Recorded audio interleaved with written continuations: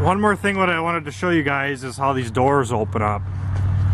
So, you can either open up the whole rear door, like such,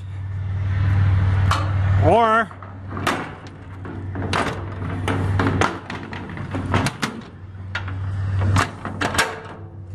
slide it.